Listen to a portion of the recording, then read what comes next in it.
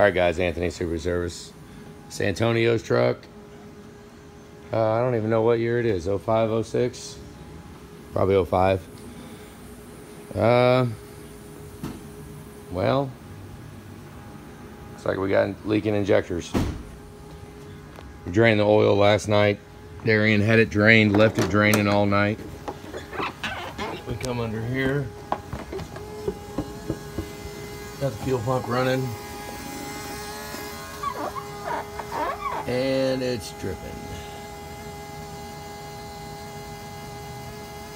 So it's been ran for a minute. Uh, there was, I don't know, probably three times the amount of oil that should have been in it. So, uh, yep, gotta find the leaking injectors and I know it looks like oil now, but if we keep letting it run, eventually it'll come clear and it'll look like diesel. So let's keep looking around here, see if we see any, any other reason for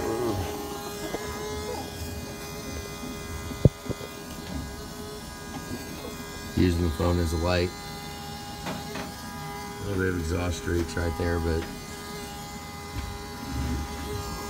yep. So leaking injectors. So now we need to uh, isolate each side and figure out which bank is leaking and then decide if they're aftermarket, do we put a full set in? If it's uh, just one injector, like a freak failure or something like that. See how the cabin also. They don't look too bad. Got a little bit of rust under here.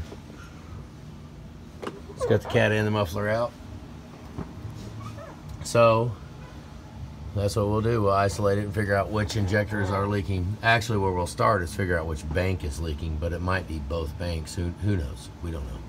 But, right, show it. All right, guys, have a good day.